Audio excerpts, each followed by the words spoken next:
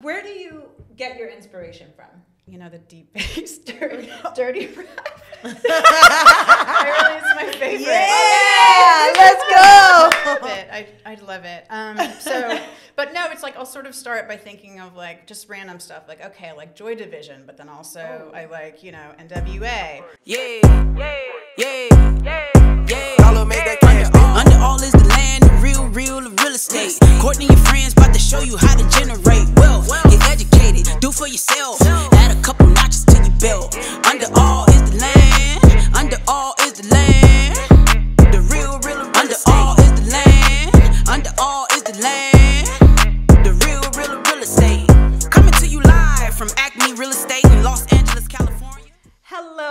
and welcome to episode four of Under All Is the Land.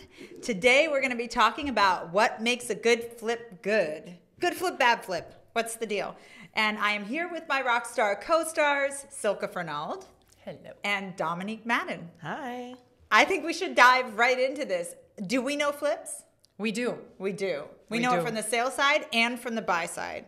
But, you know, I do feel like maybe some flippers out there who decide they're going to get into this profession don't do their research. So we're here to help you with that. Flippers out there who don't do your research. Let's start with some let's start with things that flippers should do. Like systems things. Can we start there? Start with the bones. Okay. Start with the systems, yeah. Let's do it. Okay. Well, I would say oh, oh, when it comes to systems, I really think it depends on what you're starting with. You know, if Okay. a system is completely failing, you should probably replace it. Let me ask you this. Would you advise your flipper to repair a sewer line? Yes. Yes, if it's if it's broken. What if it's functional but just old? No. No. What if it has a has a like what do they call it when it like misaligns? Like a little shift. Oh, a little A offset. shit Well, offset. That's the thing with the older sewer lines. What I've been told many a time by sewer line inspectors is that when they made the su- those sewer lines, that just happens sometimes. Mm-hmm. And you know, if it's functioning, I just don't see why you would fix something that's not broken. You know, what's the point? Mm. you don't think that? a buyer expects that a sewer line is repaired? No, I don't think so. Okay. I, I mean, uh, if it weren't broken, I wouldn't expect it to be fixed. But also, I mean, they say that these new sewer lines have such extensive lifespans. Mm-hmm. But the proof is in the pudding. if a freaking hundred year old sewer line is still doing its thing and it's not broken, I'm not touching it. Okay. No, I'm with Nick. Yeah. Fireplaces, chimneys, mm. do or don't do? I would say, I would say It's a generally tough don't do. One. I think it depends on price point. Yeah, that's a good one. Yeah. That's a good one. Yeah. Okay. true. Yeah. So you're saying don't do and advertise as decorative. Well, okay. Especially, I guess it would also depend on where hmm. you are. Like in LA, the likelihood of someone actually using their fireplace is like, you know, slim to none. I mean, I know a few people who say they light one or two fires a year. Yeah. But, you know, it's really about the romantic vibe of a fireplace just being present. So if you're a flipper and you're working with a limited budget, then you're probably not going to want to put, you know, $10,000 or whatever that fireplace needs to fix it versus maybe some other more prudent issues that are like things that people will use every day, like But an don't HVAC you think system. that buyers are notorious for asking for huge fireplace credits? They are, and that's why they're sold decorative.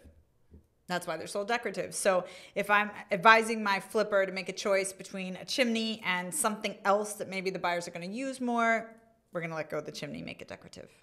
Yep. Okay. I think sure. so. Um, what about the roof? The roof still has a couple years life in it. Do we replace the roof if it doesn't need a full replacement or leave it there?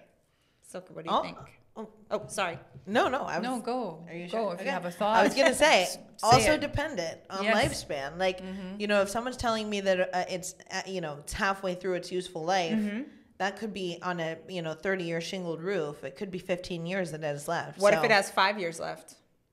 I would Don't replace honestly it. probably not replace it. Just do maintenance? if it's functioning, Yep. you know, then Yep. why would you replace it again? Do you, know, think it's that buyers wasteful. expect at least that the sellers have done something to check this like condition of all the systems before they put the property on the market? Yes. They expect it, right? Yes. Because I know I've I've had situations where I rep buyers and we do a roof inspection and it's like a hot mess, missing shingles, missing nail like nails are showing through, missing you know different that- kinds of things that are supposed to be on the roof to make water roll off. You know, uh, I'm at a loss for words. But for that's what's that what you called? would call a roof tune-up. So Yeah. I, I, I say yes to that. Yes, flippers like should you do don't have that. to redo the whole roof if there's life left, but tune it up so there's no missing shingles and nails and Okay. popping up and that kind of thing. Okay, how about plumbing? For sure, you replace the plumbing. All the plumbing, Yes, because it's most plumbing? likely galvanized. even the verticals. Oh, you're really getting into this. I'm going I all the way like in. it. I'm going all the way in. I like that. Okay. I would for sure say if there's Yes. old plumbing, replace Yes. it. Okay. Replace it. what even the verticals. Yes. Even the verticals. Even the water main line Do you at know- Uh, the city connection. If it's galvanized plumbing, Yeah. that's where our drinking water comes from. Replace it. replace it. Waste lines, replace it as needed. Mm-hmm. But it's easier to replace plumbing when the walls are open than Right. having the buyer go in later because oh, this thing just broke and now we have to get into our nice house. and Yeah. Tear Yeah. down walls and Plus, if there is, yeah, if there is a water issue, then now you're looking at behind the wall problems, and maybe it, you know you don't know when it's happening. So, like, if it's something that happens for weeks or months or you know even days, you could end up with mold. And Do you at that think point, buyers having to tear it know the open. value of full plumbing replacement? Like, do you think they know how much it costs? I, I think a No. lot of people have misconceptions about costs of things, you Mm-hmm. know, but I actually think that, you know, I mean, okay, the, the prices are rising, but for a long time, I feel like people overestimated, Mm-hmm. actually. Yeah. You know, and now I feel like because of HGTV, they're underestimating and overestimating their ability to take it on. thanks HGTV. oh my gosh. yes. Um, okay, so this might seem obvious. I don't know. But electrical. Um, yeah. If the panel's older, should a flipper replace it? If it's not one of the recalled panels, should they replace it? well, it's not that expensive. You might as well replace it. Yeah, I I mean, and also the the thing with old panels is that they're usually undersized mm-hmm. for the kind of ener- like electricity that we use now. So like if it's not 200 amps, then I say upgrade it, especially mm-hmm. because it is reasonable. Okay. Yep. HVAC system Yes, for sure. functions, but is 15 years old. Well, then it probably runs on the old Freon type. Freon. Yeah. I Which think most air a new- conditioning units have Freon. No, what I'm saying, the old type that's recall that you can't buy anymore. So I feel like if there is a question, replace. There's a new type of HVAC that doesn't use Freon. No, they they use Freon, but it's not the Freon that's been discontinued. There's Oh, this Freon that you can't get anymore. discontinued Freon. The old one. Yes, sorry, Yes. I was being dense there. I do remember what Yeah, you're talking about. yeah, So, so it's like if it's going to be inconvenient for the buyer to Yeah. add Freon or maintain the system, Yes. then replace it. It's worth Yes. Replacing. Mm-hmm. So we're talking really about like, is it possible to you know, I mean, I don't know how you feel, but like I'll go in with buyers on a property that looks really good. Kitchen's done, bathroom's done, new floors, new paint, exterior, sexy color, whatever. And then you do the inspections and it's like they didn't do a complete job of the systems. And so we're asking for $30,000 on the request for repairs. I represented a property where the seller didn't do half the roof on the garage. Like the visible half was updated, but the non-visible other half was wood shake. And You know, and that came up in inspection. Sure did. And It's ultimately, she had hazard. to replace it. Yeah. But it was like there are places where flippers tried to, I think, not necessarily. I mean, it's not always cutting corners. It could just be about financing. You know, like, look, I have a hundred grand to spend on this. Where's the best place to spend it? But you know, buyers expect that when you present a house like this beautiful thing, that the bones are going to be good too, right? I think it also depends on price point to go back to that. If it's beautiful and sort of in a first time home buyer starting price point, I feel Mm-hmm. like you can be more forgiving than if you push up to a let's say, you know, listed for one five, you you're a two five by the time you're in escrow, you're like you want everything done. Right. So I right. agree to a point because I, I think that in lower spaces, buyers can't afford the big fixes if they need the big fixes. So even then, if it needs it, I think do it. You know, mm-hmm. because a buyer who's buying a seven hundred thousand dollar house in LA, you know, even though that's on the lower end of the spectrum, it's still you know that they, they might have limited resources especially if they're you know if they're utilizing like low down payment loans or you know That's a very good point, and that could cause a problem during the contract process because we're limited in how much closing cost credit the buyer can get by how much their closing costs actually are. So if the repairs that are needed are exceeding the closing costs, then you know it could kill the deal. Like totally. I, I got a call from an agent today who said my client's in escrow on the property. It needs three new foundation walls. How am I going to handle that? So it is a problem that comes up for sure. Um, you know, so if a flipper wants a smooth sale, then I think that they need to consider the biggest stuff like foundation. It should be a priority. Yeah. One more thing I'd like to add is that I think that flippers should be more considerate about doing systems work and actually, you know, taking care on the pieces that they pay attention to versus not for reputation purposes too. Because if you're a shitty flipper and you're doing half cocked flips, that reputation does follow you. Mm. You know, there's one who we all are aware of now, the Butcher of Leimert, who has gotten that name because everybody knows no permits, you know, shoddy work, you know, and, and it really impacts the resale price. That is just a fact. Yeah. Every time you see the listing, you see it sit, even whenever it's know. listed at a reasonable price point. And the reason is because that reputation precedes them. You can tell it. You can see it. I actually saw one How do you really feel about that? this is facts. You can look it up and compare. No, but you know, I actually saw one recently by them, uh, and it it had permits. Oh. so I think Ooh, I think Things we're are learning. changing. I think something is is changing there. Okay. Yeah, and it was it was it was decent. I mean, we didn't inspect it because we didn't Right. put an offer in on it, so who knows? But it looked good. Well, that begs the question then: Should flippers do pre-inspections? if Like, they're wait. willing to fix what they find, yes, Fix or disclose what they find? right. But that is not maybe not the best approach, in my opinion. No, you're No. going with no. What do you think, Nick? Well, if you're not willing to fix what's on the report, and then you disclose it, Yeah. how do you get the number you want? See, I, I think pre-inspecting is generally a good idea. I mean, I mm-hmm. think like I think in most situations it's a good idea because even if there's things on there that you find that are bad, one, if you aren't going to fix them, then it just lays it out on the table like this is what it is, and you mm-hmm. are going to take it as it is because I'm not doing anything else. You know, but you also have the option then to correct that before a buyer's inspector gets in to see that thing and then makes a bigger thing out of it than it really is. Mm-hmm. You know, so you have an opportunity there.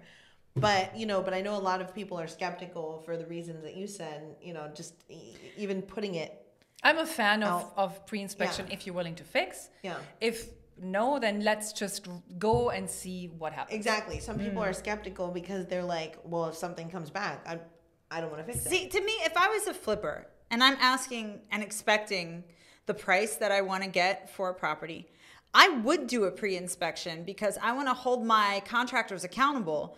If I write them the last check and they leave, and then my I go into escrow and my clients are like, or the buyers are like, we need thirty thousand dollars for this poorly done roof. Like I've seen that happen. Like a whole roof was done without permits, poorly done, and the buyers asked for an entirely new roof.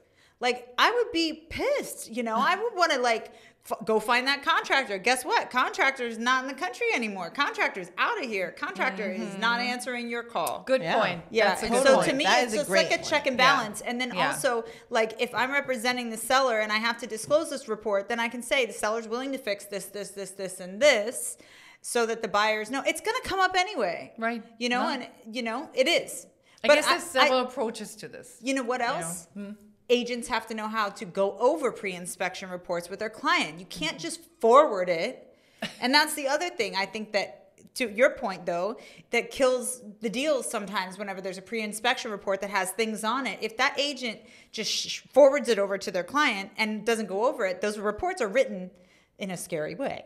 And sometimes it's mm-hmm. just normal stuff like an open junction box or you know some optional stuff like seismic mm-hmm. bolting. That's optional. But they make it sound like, oh, the house is going to fall apart if there's an earthquake, which we know is not true. So, you know, I do think it takes agents who are familiar with the inspection reports to like maybe help coach their client on how to read them before you have to make an offer or respond to a counter. Yeah, perspective is definitely important, but perspective also comes with experience. Mm-hmm. And, you know, I know that there are a lot of agents out there who don't necessarily have the benefit of the experience getting those reports. So you see 120 pages and you might be like, oh shit. Right. 120 pages. Yeah. Like, this is fucked. You know, not knowing, not knowing that that's, you know, every single house is almost Yeah, like I, I rarely have something under 100 pages on an Mm-hmm. inspection report because there's little things that just in you know especially with LA houses that were built in the 20s and 30s and 40s that aren't up to current code right, Right. because they were built back in the day you know but are still fine functioning things. It's really you know a lot of it is really optional. Like do I want to um, fix it? And the Right. things that are like uh, that are Must do. yeah, must do's are usually like in red or you know Right. like there's something that says urgent in there with it. You know, you bring up a really good uh, point about code because I've had a lot of buyers confused about what that means. They'll they'll say, "Is this to code? Is that to code?" And I'm like, "Codes change every year." Codes change. So something could have been to code in 2019 and now it's not to code in 2020 or 2021. So I think that like uh, the most important things to focus on in the inspection process is not the code. It's is there a health and safety concern? Or are there multiple health and safety concerns that are valid and legitimate? Otherwise you'd be tearing down and rebuilding houses all over the place and you wouldn't get those beautiful spanish character homes like we have and craftsman's and all the things. Good point. um, okay so anything else you can think of that flipper should do system wise that i haven't talked about should they fix the sprinkler system hmm. I can tell you a big one. Ooh. Foundation. okay Oh yeah. If there is a foundation issue, you should absolutely fix, fix it. it A hundred percent. Because it will always come up and you don't know who is coming out to give an estimate on that oh, foundation. Oh yeah. And we know companies p- that give different bits depending what zip code it's they're like in. shooting fish in a barrel Oh my they're like oh scared buyer foundation issue payday you know I once had a company estimate $148,000 for a foundation repair and retaining wall repair on a property. What? And fortunately, my clients had friends who were, you know, in the business of retaining walls, and uh, and they gave them an alternate estimate for like sixty some thousand. So you can see, like, yeah. the I have a horror story with regard to a foundation. This is not my finest moment, but it also wasn't my fault. So I was I was uh, representing a buyer on a property. It was a fixer property, and thank God he was intending to do work to it. Okay. But we had our general inspection. The general inspector was like, the foundation is in really bad shape. You should get foundation inspectors out here. I was like, great, I'll get three. It was like the very baby beginning of my career. So I got three inspectors out, and each one of them said, you need a brand new foundation. They give us different prices. At that time, it was like 20 grand, 30 grand, 40 grand, right? So I don't remember Back if we got day. credits or what we did. We like went moved forward. So day of closing. Day of closing, I'm handing over the keys to the buyer, and he's like, I'm gonna drive my car down the driveway. And he starts and realizes that the car is too narrow, like the too narrow to get down the driveway. And there was a tree stump that was there. It's probably been there for 100 years that we never noticed. Nobody noticed. So it turns out none of the foundation people told us this. In some earthquake at some time, the house jumped up and moved over about a foot on the foundation. so it moved into the driveway, essentially. So that's why it was too narrow to drive a car down. Now, Wow. he wasn't too upset because he was planning on de- replacing the foundation anyway. So now they had to tear down the wall and like remake the foundation, which they were going to do anyway. Thank God. But yeah, I mean, three foundation inspectors, and none of them told us that. He didn't find that out until after the fact. Is that crazy? crazy. That That is is crazy. crazy. How Yeah. do you put it back one foot? You you take that whole entire wall off. You, he had to take the wall that was up, the wall mm. that had moved over. That whole corner of the house had to go away.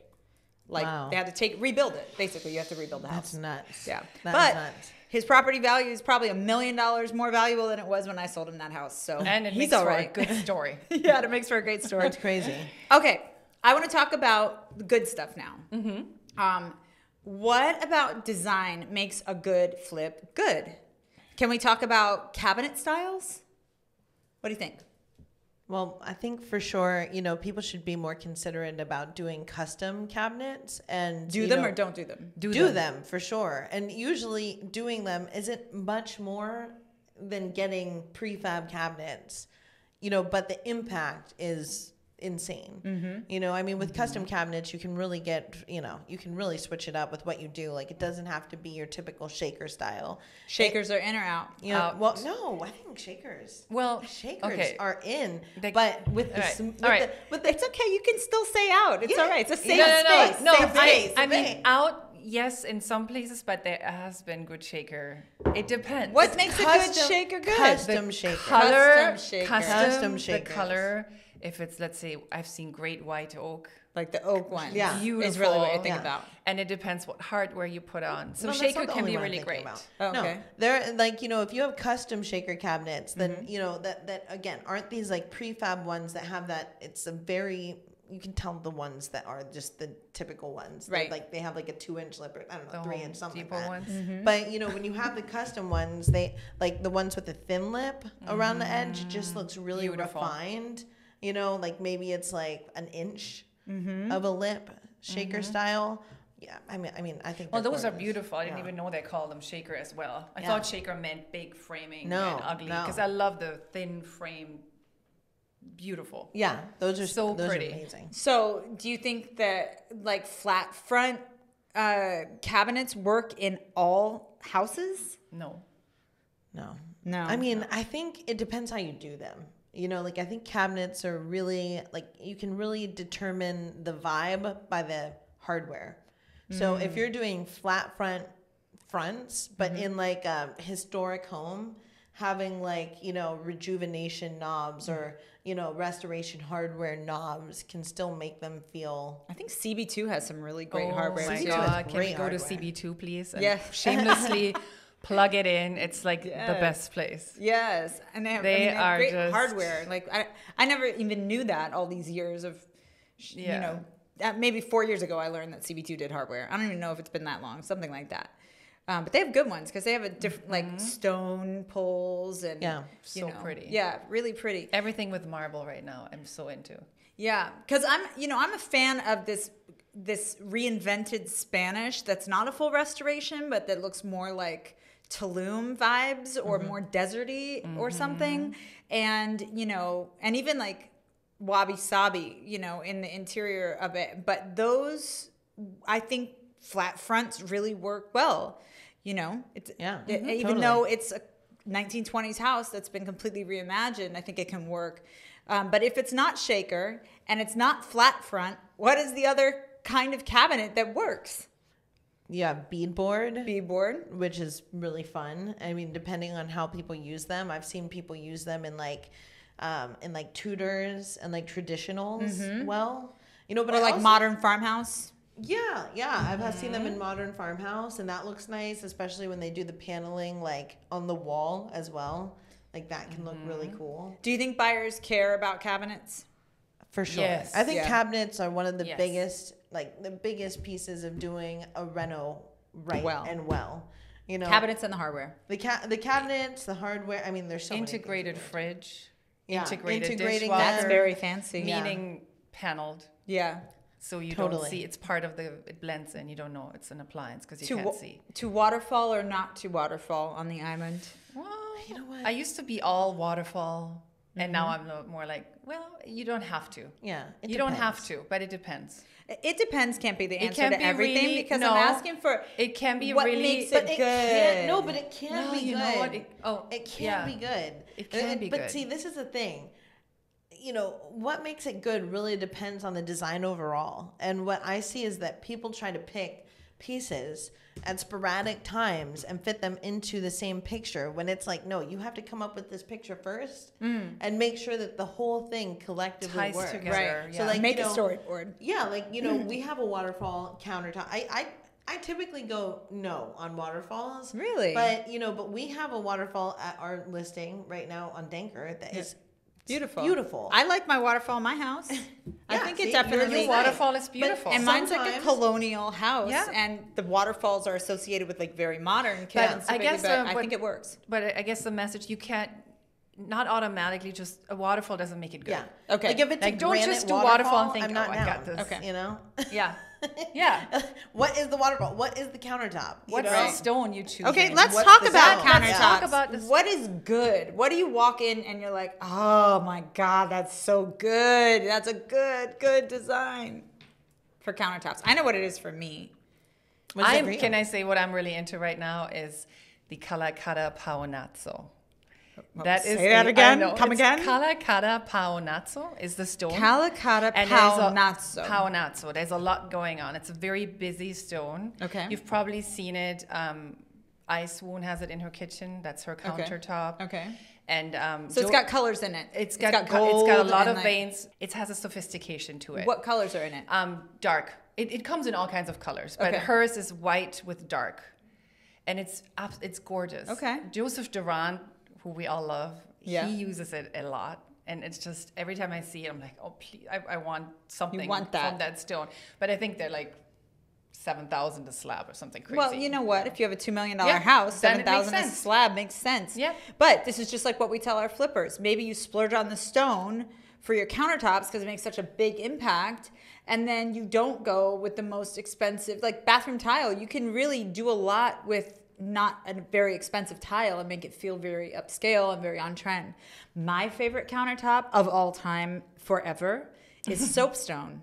Oh, I love it love so soapstone. much. And I don't get to see it enough. And every time I walk into a house that has it, I'm like, oh, and it's timeless and it has a patina and it ages well and it never looks dated and it's just like comforting somehow, like True. farmhousey. I don't know. I love soapstone. Yeah, I love soapstone too, and I love that it has a texture. Yeah. You know, like Like- I love oh, textured yes. countertops, Yeah. Yes. like concrete countertops. Like we had clients who had those custom concrete or concrete counters poured, Mm-hmm. and even had a waterfall in And that concrete, looked great. and it looked amazing. Yeah. you know, but I, I, I mean, there's so many countertops that I like. oh my God! Do you like tra- leathered granite? Yes, and there's a travertine that's beautiful. Yes. Yeah. That I has think we've sort got of a made travertine comeback. surprise coming up. We do. Ooh, we have yes. stunning Tell me more. travertine coming in our Kingsley listing. Oh, yes, Oh, it's coming. Oh it's God. coming. It Okay, is- well- it is amazing. It's honestly amazing. Everything they did with it is stunning. I think stones with texture are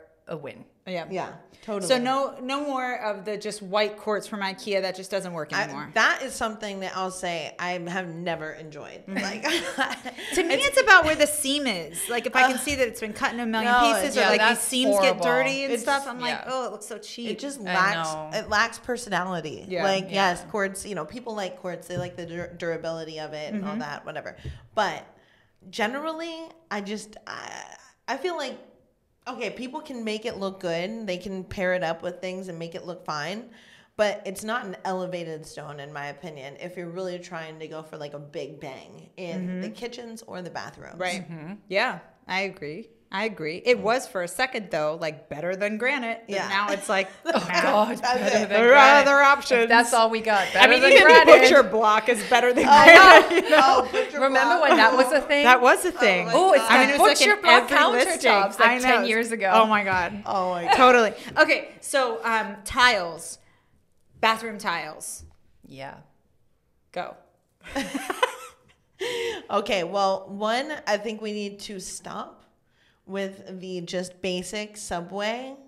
we just need to altogether stop. stop. Well, well, pretty much. I mean, I, I just No, the, the let's just- staggered, yes. yeah, the staggered Stop. subway tile. It's just like so overdone. You know what I hate? what? Black grout white subway tile. Oh, God. my god, the worst. That no. okay? When it's grounded white, it's like acceptable enough. It exists. It's fine. It disappears. It's unoffensive, but it's Right. not like wow, I love it.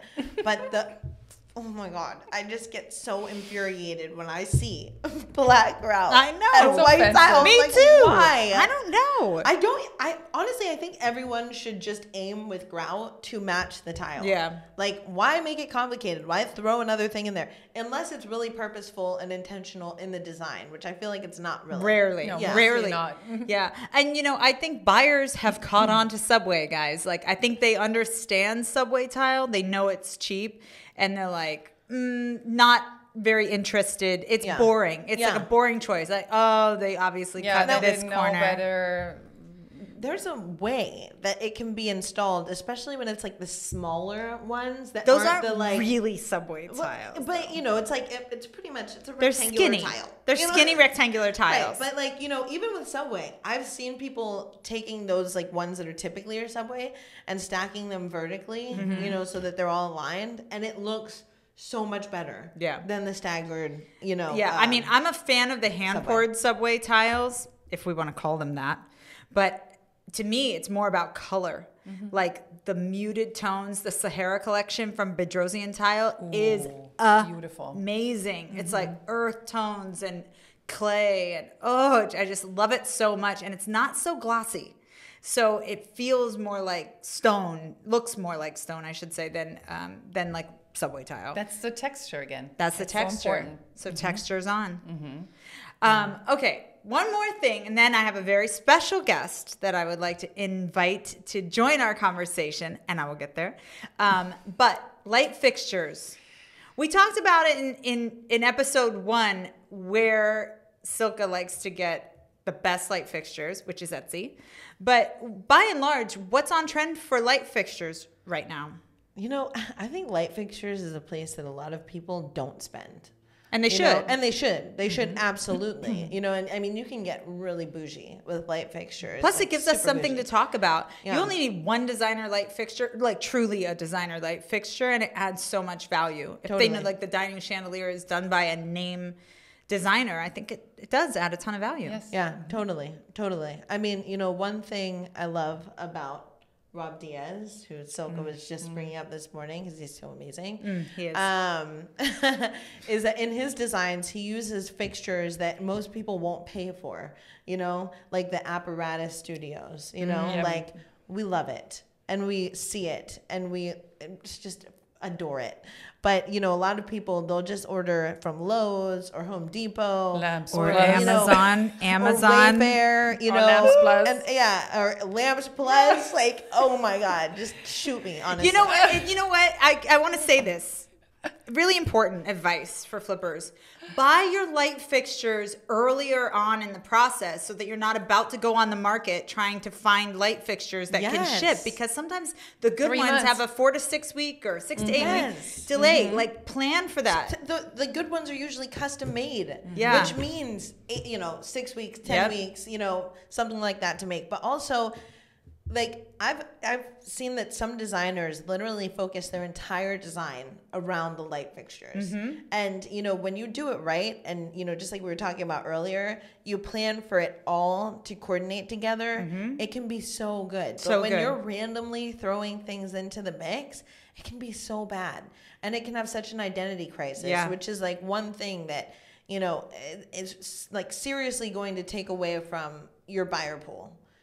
Yes. You, you know, if you have people who are looking for a specific aesthetic, then if there's things that are just throwing it off or it just looks hodgepodgey, it's just not going to work. Yeah, I mm-hmm. totally agree. How about mixing metals? How do we feel I about love that? mixed metals. You do? I do. Oh.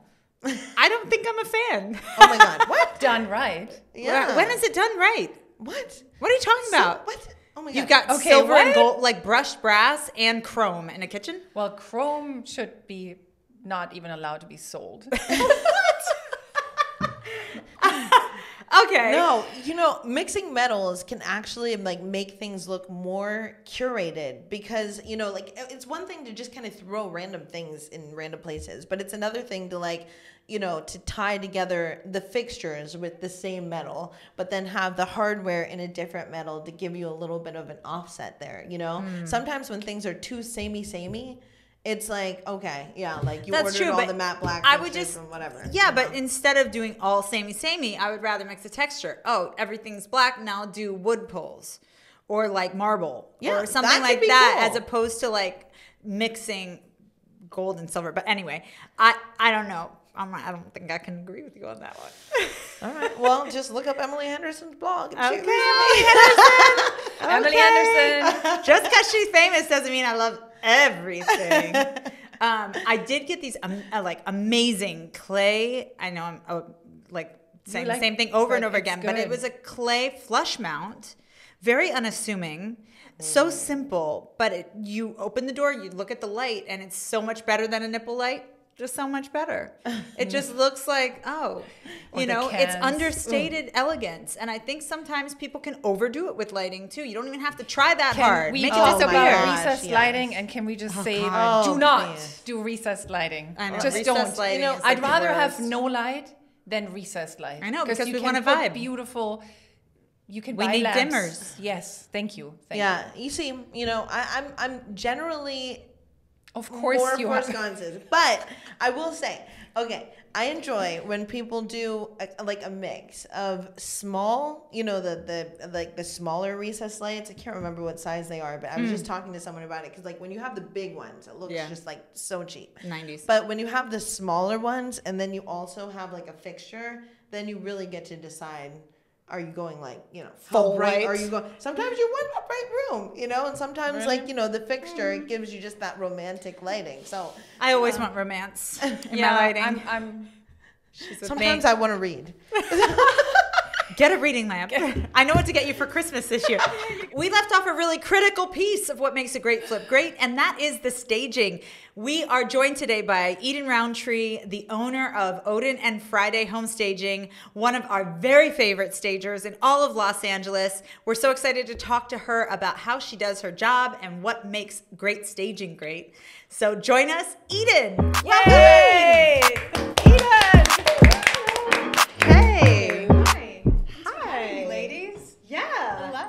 Hello. Hello. Hi. It's so good to Hi. see you. Yeah. I know you've you. got like three or four of our stages going on right now, so we're T- glad you today. can make the time. yeah, today. so we're, we've been talking about what makes a good flip good or a great flip great, and a large part of that is staging. So I'd love to know more about you and how you got into staging and what you were doing before. Oh, well, before I was a, a stay-at-home mom, it wasn't until I was shopping for my own house that I saw. Sta- I didn't even know staging was a thing. I just always loved de- design and how rooms made you feel. But when I was shopping for my own home in 2012, I couldn't. I was like, wait, people are living here? They're not. Oh, okay. And I just thought it was really, really rad that there was a business that was, you know, there to help buyers envision themselves, and then also kind of to help sellers too, to let go, to, uh, you know, maybe get more money for their property, etc. So, yeah. But before that, I had no idea that it was even a, a thing, staging. So, You've grown a lot in the past couple of years. yeah, yeah. How's that with, been? You, with you guys, though. too. hey. um, no, it's been amazing because uh, when I first started, it was really, I didn't take any investment. I just went from job to job building slowly. And so a lot of times in the beginning, I would have a vision of what I wanted the space to like look and feel like, but I just didn't quite have the inventory that matched that. So it's now having some of that inventory that I that helps me sort of see it all is like it's very exciting. It's a Yeah. special skill what you do. Really, it is. What do you think is the hardest thing about your job? About staging, Mm-hmm. I'm a hundred percent. It's a lot of schlep. It's a lot. I mean, it's a great workout, keeps you fit, but it's. Uh, I've had so many um, people come and intern for the day to check it out, and uh, you know they don't call back because I don't think they were expect. I think they were thinking like staging, like styling a shelf, which it is. But you know, 75, 80 percent of it is carrying bags in and out and in and out. So it's the physical aspect. I think is pretty Mm-hmm. tough. Yeah. Yeah, I bet. We don't even think about that. It's true. And especially as you grow, you have to like have more warehouses and like you have to Yeah. hire movers and do all those things too. All of it. Were you planning for that? Did you know that going in? Like, Um, it, I mean, listen, it's daunting because you know I was like, do you have to own the inventory? Do you rent it? Uh, and I was kind of by the seat of my pants over the first few months. Um, but yeah, it is a process of that. Ultimately, I think if you're an authentic stager or, or an artist or whatever, you kind of want pieces that are yours. You don't want to just rent them. So that does mean that you have to then have movers and warehouse spaces and you know movers sometimes things get damaged so it's just a lot of like turnover but um, yeah there's a lot of uh, parts about the business that i've you know you had to had to figure out Yeah. had to figure out yeah so what do you sure. think is the difference between good staging and bad staging? I'm sure you've seen some bad staging, right? um a little bit i mean i don't wanna, i don't want know how hard stagers work so i just i'll say it like this Maybe some do work hard and some maybe don't work that hard. Well, I think it's I think it's um, when I walk into a space um, or I see a space that is like good staging in it, it makes me feel excited. I kind of like, you know, like, oh my God. Or, or it makes me fall in love with the house. Do you know, sometimes the houses need, just need a little encouragement from the stagers to help buyers see it. Um, and so I want someone else to walk in and have that feeling. So when I walk in and the stager has maybe, let's say, phoned it in or not put a lot of thought into it, or you know, you walk in sometimes and the layouts are so janky and make there's no flow to it. Oh my God. And you're like, what do they do? They just throw a sofa there? Like you have to like sort of think about the buyers when they're walking in. What's the first thing the buyer's going to see? They're mostly going to be on foot walking through the house. The house has to have a good flow to it, but also things have to make sense. You don't want to just stick a chair somewhere just to stick, Stick a it chair. You want to make it have a purpose, right? So, um, yeah, which there's, yeah, it has to have a flow to it, something kind of magical. Dominique and I had a listing one time where the sellers, which were corporate sellers, insisted on using some stager that they had used before who was probably very cheap. Mm-hmm. And all the furniture was oversized. They put the dining room in the wrong place. It was a mess. So literally, we had the open house. We fought with them. They they insisted on the stager. We even had her come back and restage it because it was so living spaces that we were just like, oh god, this is so bad. and and you know that's what we do though. When we walk in and we're like, this isn't right, we'll call a stager and be like, yo, you got to remake this bed. I don't know where you got shiny brown pillows or the thing because they're not the thing. I had to do that yesterday in Orlando. I wasn't cheating. Okay. um, but anyway, um, but you know, it's like it's like we, Nick and I, in order to sell the house, physically moved the dining table. Like we reorganized the furniture for the second showing for these buyers, so they could see that the living room was actually bigger and that it was just this oversized dining table that was eating into the living room size. Like we physically had to do the work of moving. So I, I, I can't even imagine doing that all the time, but it's like sometimes it, it leaves us, the agents, in a difficult situation whenever the staging is bad. Yeah. You know, especially if the seller is persistent. You know? Well, I think, I mean, listen, I always appreciate the chance to fix something. Every single client has, you know, different quirks and likes, and, you know, of- course, the demographic, who are you're selling the house to, the area. So I always appreciate, hey, Eden, listen, we're not really, you know, digging this. Can you come change this out? And I'm happy to do that. I, I actually like collaborating. So That is why we love you. You are so unique in that way. Okay. A lot of people are like, "This is it. I'm not coming back." I had a stager tell me, and I and I do, you know, I liked her work, but she told me I don't run errands. When I was like, um, can we add like, you know, these lamps don't work, or like this thing isn't quite right, and whatever. She, I said, there's a target right there, you know. She's like, yeah, I don't run errands. I was like, oh, so guess who did? You This did. guy Yeah. went and Yeah. restaged the entire room. Yeah. You know, which was like I'm like I'm paying. You know, I wasn't. I was contributing to the staging on that one. I think. Yeah. You, uh, you know, but anyway, anyway.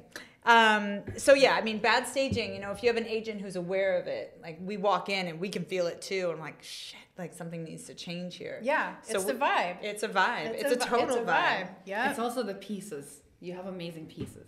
Well, like I said, that was that was Yeah. that took that took a minute. Um, but when I started to be able to sort of buy things, not because I needed them randomly, but just because it was like, oh, this is a piece I've been dying for. Like the lines of things and the colors and the textures y'all were talking about earlier with furniture, though, it's like, uh, it's um, yeah, it's exciting. I like it. Tell us about layering. How do you decide how much or how little to do?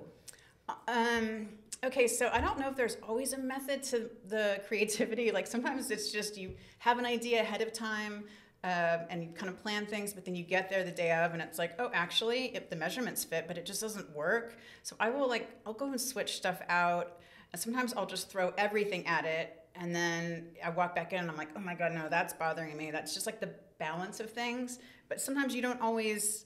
I think maybe if there's stagers who are, you know, a bit more flat in terms of, you know, what they convey, it's not a matter of anything. But I think because we're trying to sort of make people feel something, it is, you have to kind of fine tune it a little bit. So it's sometimes you, I just throw it all in and it's like, oh my God, that's so much. Wait, take this out, take that out, take that out. So it's just then- editing. You're just editing for a lot. overall feel. A lot. And then something just when it fits into place, like everyone, all the team starts being like, oh my God, and start swearing, like, great. you know, like How many people just, do you have on your team? um, let's see. I've got April, who's amazing, the best. Uh, Johnny, and then I've got a team of, of guys that are just they work so hard. They move and schlep for me. and they're they're amazing. Carlos and Carlos.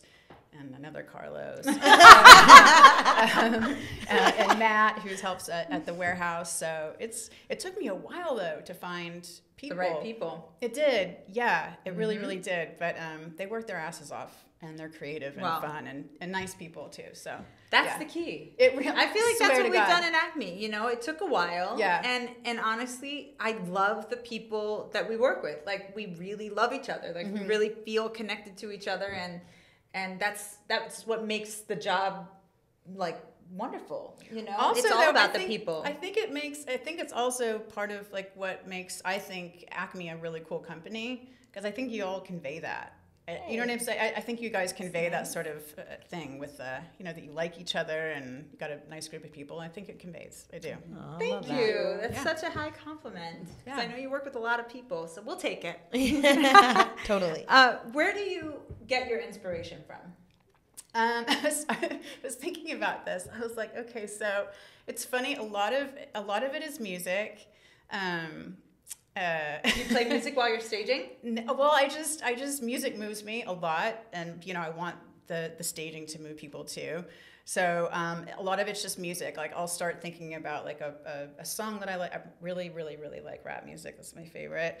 Um, sorry, I know. So like- that's unexpected. So who's your favorite rapper? um, okay, so I've been listening to um, the Cool Kids Okay. and Father. He's he's from the South, and um, who was the So you like put it on while you're staging? I'll put it on while I'm staging. Um, some of the guys don't like the rap because I kind of like the sort of, you know, the deep bass, dirty, dirty rap. I really, it's my favorite. Yeah, let's go. you naughty, naughty Yes, baby. that's what inspires oh me my God. too. I think I I'm love blushing right. I love it. I, I love it. Um, so, but no, it's like I'll sort of start by thinking of like just random stuff. Like, okay, I like Joy Division, but then also I like, you know, NWA. So I start thinking about like, you know, the bands or the songs that I like. And also, so I'll Google that until I'll fall into like a Google hole of like colors that the album did. And it also, but also, so it, cool. it always comes back to the house though, really, ultimately. What is the house asking for, you know? Yeah, But- totally. Love So that. music, I thought my she was going to say jazz, okay? and because I was thinking of Kingsley and how beautiful your staging was at that house, and it really transformed that space. I mean, that was just It was such a fun one to wow. do too. It was yeah. just amazing, and it felt like jazz to me. It felt like such an It interesting gangster eclectic- rap. it was gangster rap, in fact. I was one, so that wrong. One might have been a little Chet Baker, actually. it might have been a little bit, but actually, no. That was the green velvet dining chairs. That's what made that place bar yeah, none. Yeah, that was amazing. Well, it was also Um, the Clementine chairs in the living room.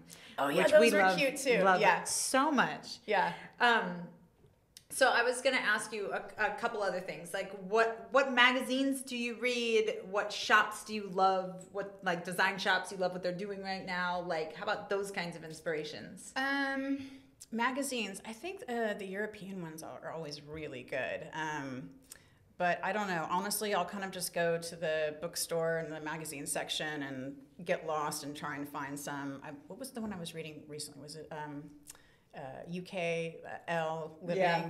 Um, those Elle are those are pretty good. UK. Oh, and then this other book. What's that? Um, Athena Calderone. Oh my I god. swoon. Oh my god. Oh, yeah. swoon. Her Yeah. book is beautiful.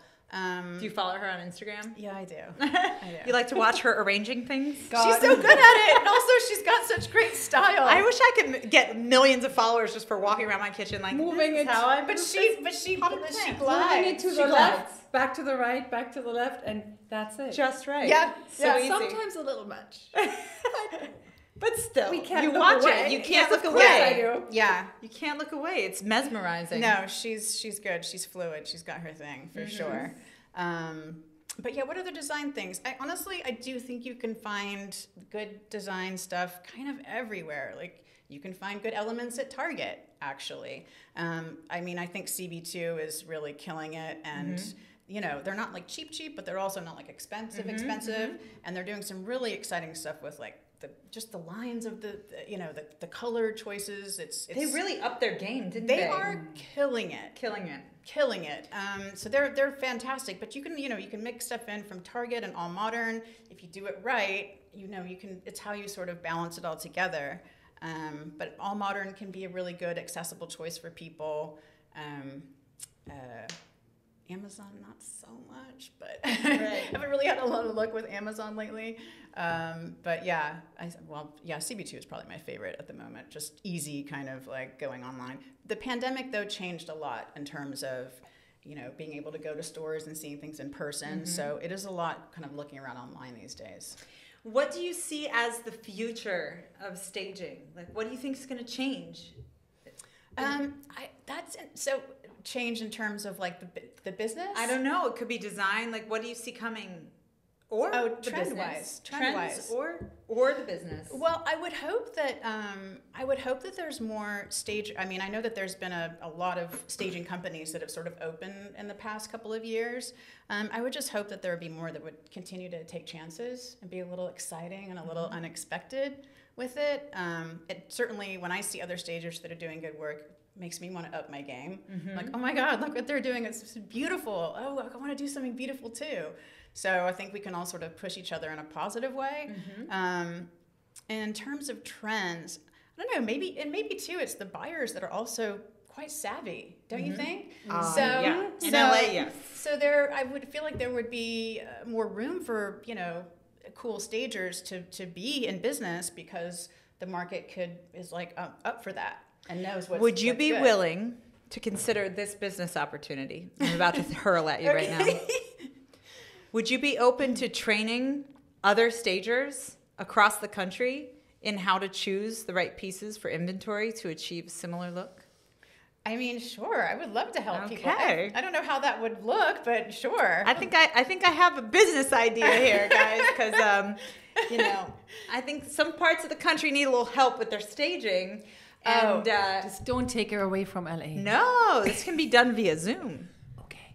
Right. What's Yeah. that thing called at Zoom? They Zoom, started- yeah, came yes. that big in the pandemic for sure. You think everybody can be a stager? Uh, I don't. Nope. And actually, I think a lot of stagers maybe get into the staging wanting to do interior design. I'm actually probably the only stager in LA that doesn't want to do interior design. I like staging. I like thinking about houses that are going to sell. Um, but yeah, it's. I think what I was saying earlier is I think a lot of people start it and they're like, oh, it's going to be styling and stuff, and there's all the other moving parts to it. That's a, a, a bit much. So no, I don't think everyone can stage or So- should stage. To wrap, what do you think is the number one skill that a great stager has? Uh, flexibility. 100%. Flexibility, like physically or in their scheduling? No, I just think in in uh, how they sort of look at things. It's there's constantly, and y'all know this. There's so many moving parts with real estate. Sometimes the contractors aren't finished, or you know you're expecting inventory to come back in from a, from another job to put here, and it doesn't come in, or things don't get shipped in time, and you have to really think on your feet, but also be flexible enough to sort of within those confines still be creative and make make magic. Guess. Well, you do make so much magic. Oh, Thank you so much for joining right, us thanks today. for having me, y'all. Thank you, Appreciate thank it. Thank you. All right, thanks. Love some Eden. All right, let's start the rapid fire round. Okay. what is out for flippers? Go. Vinyl windows. Okay. Laminate floors. Sparse landscaping. Ooh. Chrome anything. Um, overuse of DG, which also kind of ties into sparse landscaping. Uh-huh. Fake flowers. Fake flowers. Fake Fake orchids. fruit. Fake orchids. Do fake not fruit. ever. No. Yes. Okay. I have also, thank you, a short list of things that flippers think are good but are actually awful. Okay? Let's go. Tell me if you agree with me here. Lighted crown molding. Agreed. Yes. Lighted agree. crown molding. Okay, under the cabinet lighting in the kitchen. oh my god. Depends. Depends. Yes, I've seen it Oh, used no. well. But whenever it's bright blue, Yeah, that's it's where I fluorescent or colored, That's uh, where Rainbow the line. colors. Terrible. No. Yes. Bathroom mirrors that when you touch them turn on in a fluorescent way. I agree. No. Yeah, I agree a with no. that. Ugh, terrible. Subway tile, everything, of course. How about this one? Those Spanish style tiles from Home Depot. Oh my god. Where the Agree. paint and the sun just disappears after one year. Oh. And it's just Sad. So sad. So sad. Anything else you think that some flippers think are good things, but they're actually terrible, terrible things? Giant recessed lights, Oh, for sure. Totally. Mm-hmm. Cheap, square, black shower heads. Yes. Oh my Oh, God. I the square them so shower heads. I, I hate they, them. they could be black. They could be chrome. Yes, be- I guess. Not uh, square. square shower heads. Square, like anything faucet related. Like I hate when they have the whole matching set. Oh and my it's like the square spout and the square handle and the square shower heads. Just uh, horrible. You know what I'm saying? Yeah. Horrible. Pre-made cabinets. Okay. Yes. Pre-made Ouch. cabinets for sure. Mm-hmm. I can't stand the handles that are round and they're like brushed nickel and they look like 15 years ago. The the pulls, the mm. drawer pulls, they're round. Or the just basic matte black, like just single line ones. Do you know what I'm talking? They're probably the cheapest matte. Are they square? fixture. They're they're literally it's just like a Just li- a line. line, but people will use it on everything. It's like if you're gonna use it, mix it up. Put a mm-hmm. knob somewhere. Mm-hmm. Put a You know knob I mean? somewhere. Yeah. Yep. What are you afraid of? A little knob? I'm scared of a little knob. I'm not scared of a knob. Okay, so to wrap up, what do you think overall, Nick, makes a great flip great? Parting thoughts. intentional execution. You know, making sure that you're being considerate of one, the bones, and making sure that it's a livable, functional house that someone's not going to have to have, you know, come out of pocket tens of thousands of dollars for after the fact. But also making sure that from the beginning you think about your overall design and does it make sense? Does everything, you know, work together? mm-hmm. What do you think, Silke? Yeah, same. Thoughtful design. thoughtful design. To me, it's um, it's uh, like character uniqueness in a way that's maybe uh, inspired by current design trends, but is you know has something so special about it that buyers are emotionally in love with the house and know they can't get something just like it somewhere else. So to me, it's like character, intentional character. You know, really Yeah. making it feel different. For sure. There's Yeah. nothing worse than seeing the same reproduced House palette every time. over and over and Yeah, over over again, again. because it's something that they found and it works and they've probably bought all those materials in bulk. Oh God. and every house will look the same. Right. And when in doubt, just ask your renovation resale realtor. Yes. Yes. Yes. Please pull us in to Yes. those decision making. Yes. Totally. At the very beginning. Yeah, at the beginning, before you go buying whoa, stuff. We Before the one of floor plan is all things. fucked Identity up. crisis. Oh, Well, that is a huge thing. Yes. Okay. We forgot about that. Yes. Identity crisis for sure happens way too often. Like, why are you turning a s- like um as like Tudor house into a Spanish interior? It doesn't- Right. Or a mid-century house into a Spanish interior. I've seen or that. a mid-century Or house into contemporary. a Spanish house with a contemporary door. Oh, my oh God. god! Oh I've oh, seen the that so many contemporary Can we talk about the front The Contemporary doors? doors out. contemporary No, no. doors. No. Yes, please get rid of those yes. paneled doors. Oh, they're so bad. Oh my God. Oh my god. What So was the other thing? bad floor plans. Oh, Yes. yeah. Bad floor plans. Like floor plan is everything. Mm-hmm. Space is everything, and how it functions is everything. But people Mm-hmm. like, you know, they just try to fit as much as they can fit into there sometimes, or as little. You know, they try to make it like this super open concept, which is out. We're, yeah, open People concept. don't want you that would super say, open right? concept it's not anymore. No. They want storage. back.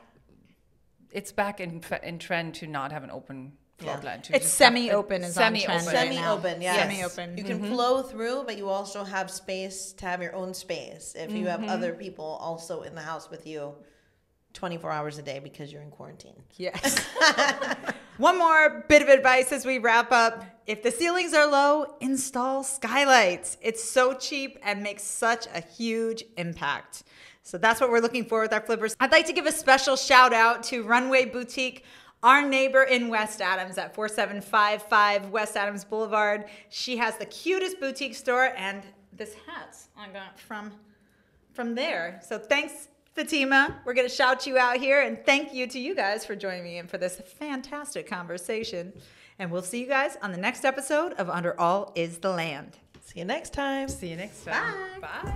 Coming to you live from Acme Real Estate in Los Angeles, California. It's Under All is the Land with your host, Courtney Poulos, Silke Fernald, and Dominique Madden. Yeah, under all is the land, the road.